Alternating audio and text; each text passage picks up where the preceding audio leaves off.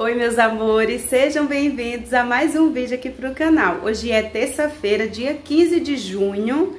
Agora, gente, são 6h50 da manhã e eu tô aqui na correria. Hoje já tô fazendo almoço, já tô terminando ali de fazer o almoço. Porque, gente, daqui a pouquinho eu vou sair, né? Vou levar a Maria no médico, porque Maria tá com uma gripe estranha, esquisita. E Maria começou ontem na segunda-feira.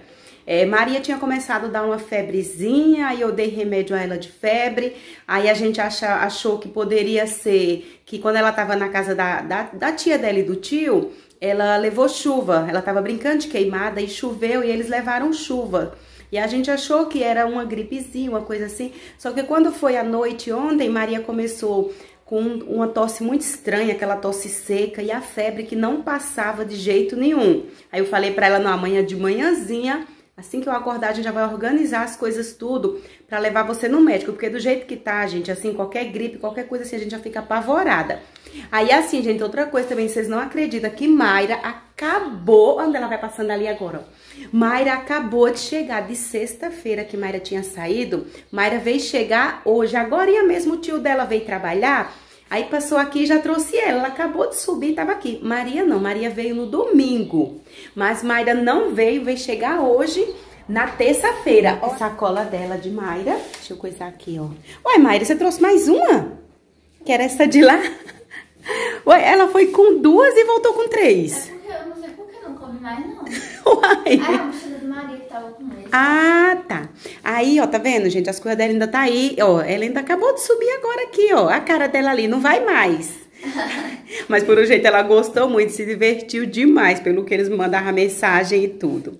Eu tava organizando agora, eu já limpei a área, ó, coloquei, juntei lixo já, coloquei ali os lixos, já limpei o chão, porque a Hanna tá com mania de usar é, essa área ali como banheiro. Aí todo dia, roupa lá, colocando ali para lavar as roupas. Aí, ó, é, Raninha tá com mania de usar ali como banheiro. Não sei o que eu faça mais. Cadê, Mayra? É que depois que choveu da última, tá com a bola toda suja. Já tô vendo ela toda manchada aqui, ó. Olha aqui, ó. Olha. Eita! Que bom, Mayra, que foi com a preta. Foi. Aí aqui, ó, gente, eu já lavei prato. Ali a pia não tem nenhuma louça suja mais aqui, ó, tá assim. É, eu fiz uma vitamina de banana e aveia, porque como Maria não tá comendo nada, aí eu fiz a vitamina também, porque pode ser que ela até queira alguma coisa, mas os meninos também já tomaram, que tava daqui a vitamina. E ó, tá vendo o tanto que já tá? Tem pão aqui que eu que eu fiz pão ontem também, ó. Já fiz arroz. Aqui, ó, só, já saiu a pressão. Mexer ele aqui pra soltar, ó. Vou soltar ele aqui, gente, que uma dica é essa. Toda vez que fazer feijão, arroz, a gente tem que soltar ele, ó. Porque quando a gente não solta ele, assim, ó, mexer pra soltar, vocês viram que ele tava grudadinho assim, ó, junto. Aí a gente mexe, ó. Solta ele assim, ó, tá vendo? Tanto que ficou, que rendeu, ó. Que tá o arroz. Isso aqui é cebola, umas coisas que eu tô pra fazer é, feijão tropeiro. Feijão que eu já coloquei aqui pra correr o caldo, que aí eu já vou fazendo. Terminei já, gente, de fazer o feijão tropeiro aqui, ó. Eu já fiz ele. Ah, deixa eu ver se tá dando pra ver. Tá, gente, tá aqui. O arroz também. Ah, agora eu acho que pra mistura, eu vou deixar pros meninos é, assar steak. Porque eles colocam só na fry e assa assim, normal. E também o suco e a salada, como eu já falei. E eu consegui trazer essa menina, ó, pra vir aqui, porque tava deitada lá falando que não ia levantar e que não ia de jeito nenhum no, no médico. Eu falei pra ela, não, minha filha, vamos lá que tem vitamina. Falei que tinha vitamina, ela levantou. Mas olha como é que ela tá com a cara de doente, ó. Tá muito. Não tá, olha como é que tá a voz dela. O que, Maria? Ó, a- ela mal tá dando conta de falar. Ela tá aqui assim, ó. Não tô, não. Mas olha a cara dela, ó. Você tá doente? Hã? Fale. Tá com febre, ó. Se queimando de febre. Aí quando eu toco nela, ela fala. Ela tossindo. Quando eu toco nela, ela fala que eu tô muito gelada, mas não é eu que tô gelada, é ela que tá muito quente. Cadê? Toca aqui na minha mão. Não, e ela. tá gelada. Ó, muito agora já são 8 horas, eu já tomei banho, já tô pronta, né? Já me arrumei, tô pegando aqui só minha bolsa e tava separando aqui os documentos, né? Peguei cartão do SUS de Maria e tudo, pra mim já poder ir também. Vou aproveitando também, vou levando os meus, meu cartão do SUS e tudo direitinho, porque eu não sei, né? Às vezes pede também pra mim fazer alguma coisa, não sei. Aí assim, eu tô só esperando Maria agora. Vou pegar minha máscara também, vou com essa aqui, ó. Tô só esperando Maria terminar de se arrumar, porque ela entrou por último no banheiro, porque já que eu tava tomando banho, aí ela tava me esperando para depois é que ela é, pra, é que ela foi tomar banho. Aí assim, a casa vai ficar do jeito que vocês viram, gente. É, só fiz o almoço e ó, organizei assim, fiz o almoço essa hora, gente, às 8 horas é, é, da manhã. É complicado falar que fez almoço. E aqui fora, ó. Então ainda é pintando, arrumando as coisas assim. E eu vou ver se Maria já tá pronta já. E Raninha tá bem aqui no chão. Maria já tá pronta? Hã? Ainda não, gente. Ainda não tá pronta. Ó, gente, Ai, já estamos indo. Ela já terminou, quase que não termina de se arrumar. Não sei se arrumar o quê, que era só vestindo uma calça e a blusa. Você que demorou. Eu que demorei, que eu lavei meu cabelo hoje. Aí eu vou passar aqui no posto, no postinho que tem aqui para mim poder pedir informação. Se eu tenho que ir para o PA, para o hospital daqui, ou se eu tenho que ir para algum lugar aqui, algum posto assim, porque sintomas gripais, sintoma de gripe não tá atendendo em todo lugar. E aí eu vou procurar saber direitinho primeiro, para mim poder não dar viagem perdida, porque o dia que ela tá fraca, ela mal tá dando conta de andar. E aí, se for pra gente ir pra longe, ter que estar tá andando assim, sem saber de, de nada, aí é mais ruim. Eu vou passar aqui primeiro para me pedir informação. O postinho não fica longe, aí dá pra ela ir. Mas tá, tá de boa? Uhum. Já fui lá no postinho e eu fui é, orientada a ir para outro posto de saúde que é que tá atendendo as pessoas com, com gripe. Assim, porque lá no posto, né, lá do meu bairro, a doutora tá grávida. Ela não tá atendendo a gravidez de risco, Aí ela não atende sintomas de gripe, essas coisas assim. Aí eu tô subindo agora mais Maria, até um pouco longe de onde eu moro. E eu tive que passar em casa para me pegar um talão de energia, porque tem que levar e mostrar lá também para ser atendido. Mas é bom porque a menina falou lá que a gente pode é, fazer todos os exames lá. Então agora a gente já tá indo. E eu tô no cansaço aqui. E de máscara e Maria com cansada. Eu já disse, ela cansou um pouquinho, a gente senta. A gente...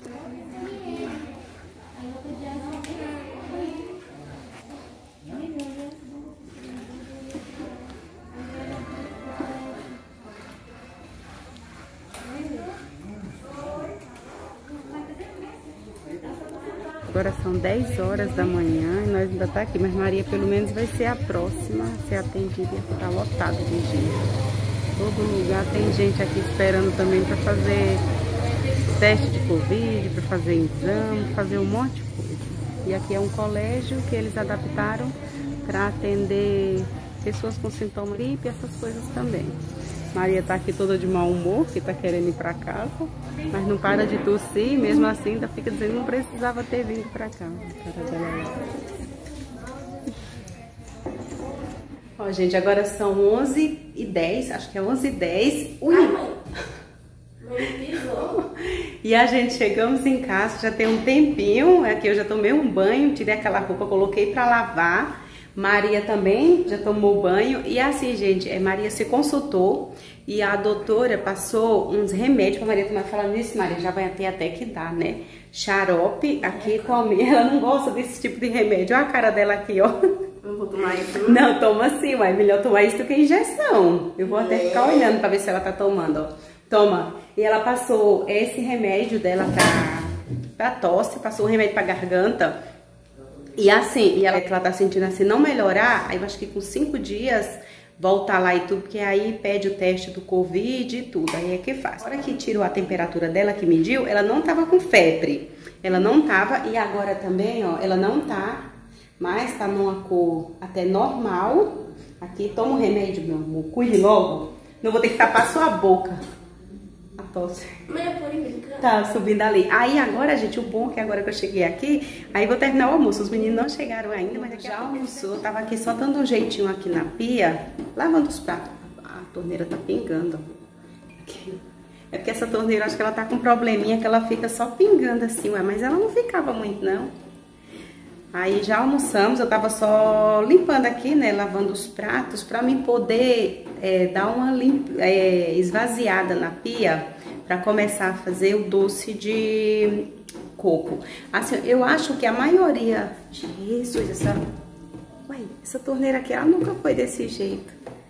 Eu não sei, é, lá em Alagoas a gente conhece como é, quebra-queixo, porque fala que ela é dura, né, que é um doce duro, e aí quebra o queixo da gente, quebra o dente, mas não é não, é só conversa mesmo. Aí eu comprei ontem dois cocos para mim poder fazer. Eu abri um ontem e o outro eu não abri, né, desisti, deixei para abrir hoje. Aí aqui, ó, eu já comi é, quase metade do coco, porque eu amo coco, gente. Eu sou apaixonada por coco. E o outro tá aqui. Cada coco desse aqui, ó, e porque eu encontrei um lá que parece que... Eu não sei o que foi que fizeram nele, não. Só que ele não tem água. Que ele tá vazio de água. E cada coco desse deu R$ 2,70, porque é vendido coco aqui por quilo. E o quilo tava de cinco e pouco, eu acho. E aí eu peguei um desse aqui e aquele outro lá. Os dois deram, acho que deu cinco e pouco. Os dois cocos, gente. Eu acho muito caro o coco aqui. Lá no Nordeste, é, o coco era muito barato. Mas eu acho que é por conta que aqui não tem também, né? Não é igual ao Nordeste que é farto de coco. Aí por isso que é caro aqui. Aí aqui na pia tá só faltando eu lavar ainda essa essa manteigueirinha aqui, ó, porque eu vi uma, umas fotos no Facebook, a gente lava com bombril, lá tava mandando tirar com acetona, essas coisas, mas eu tentei e eu não consegui não. A gente lava, ó, e deixa ela só assim, ó, com, com, a, com o desenho que tem. Aí eu deixei todos os desenhos. Eu nunca eu vi, só deixou um lado, mas eu achei tão bonitinho os outros desenhos que eu acabei que eu tirei, ó, só dos outros e deixei todos os outros aqui. E olha como ela fica bonitinha. Tá gente, aqui, tá vendo? Só sobrou esse pedaço aqui e esses dois aqui. O resto eu comi tudo.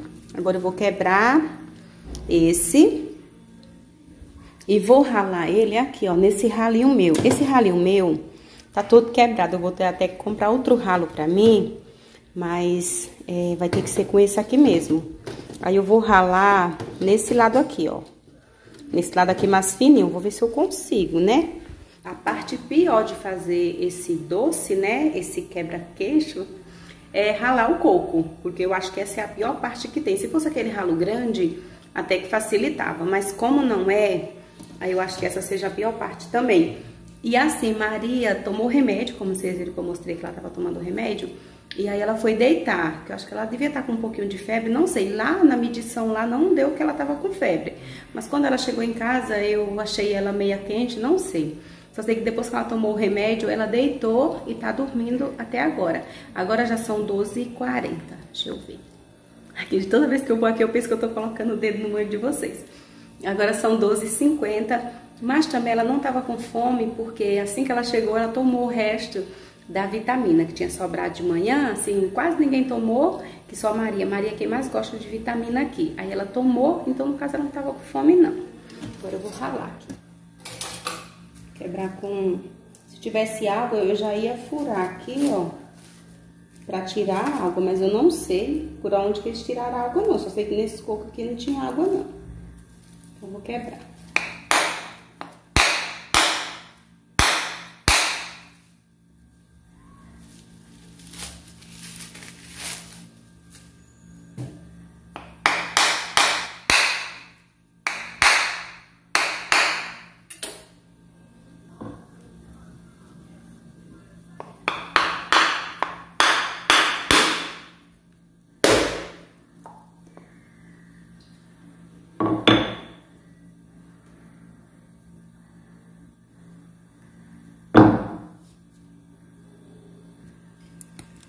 Gente, eu tô olhando ali, não tô acreditando nisso, não. Por isso que os cocos não tinham água. Por isso que eu olhei pros cocos E ele não tinha água. Olha as condições. O coco veio podre, podre. Tá de brincadeira uma coisa dessa, viu? Tá podre, podre. E é bom que eu tô ali com o cupom fiscal, vou até olhar se era... Ai, gente, mas que coisa. Mas também não tem como o mercado adivinhar que o coco ia estar tá podre dentro, né? A gente tem que entender esse lado também. Eu vou até olhar se esse aqui é o cupom fiscal. Ai, já ia puxando aqui, ia rasgar. Deixa eu ver se é ele. É, é ele mesmo. Deixa eu mostrar aqui pra vocês, ó. Tá vendo, ó? Dois co coco, né? Aqui, ó. Dois cocos seco. Ó, o quilo R$ 5,75. Deu R$ 2,19 cada um coco, ó. E aqui tá a data que eu comprei, ó. Cadê? Aqui, ó, dia 4 de junho de 2020, dia 4 de junho, dia 14 de junho, que foi ontem, às 9 e 7 da manhã, ó. Coco, né, eu ia fazer ontem, só que ontem não deu pra mim fazer por conta que tava desmontando os andames que tava aqui, é, pra colocar lá do outro lado, que agora tá lá do outro lado. Aqui mesmo, só que do outro lado, nas outras janelas. E tava fazendo muito, muito barulho, assim, batendo pra desmontar e tudo. Estão aqui já, já chegaram.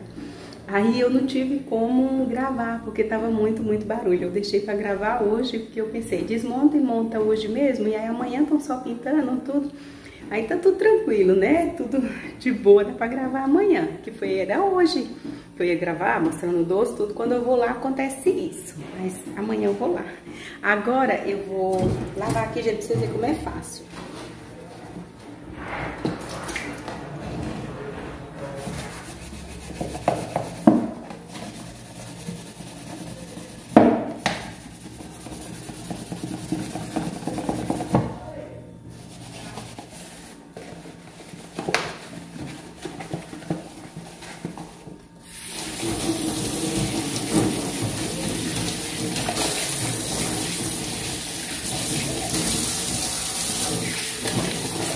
Gente, já terminei de lavar e assim, ó, deixa eu mostrar aqui.